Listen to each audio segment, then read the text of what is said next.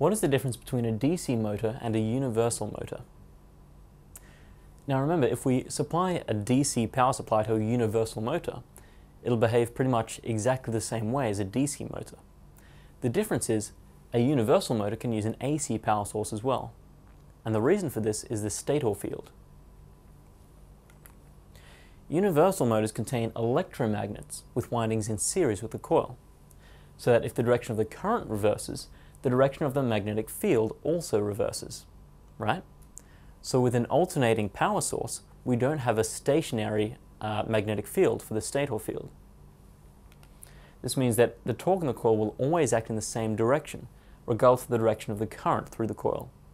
If we have a DC power supply, uh, then the current will only pass through the coil in one direction due to the split ring commutator, and the magnetic field will always point in one direction. But if we're to suddenly reverse the direction of both the current and the magnetic field, then the torque is in the same direction.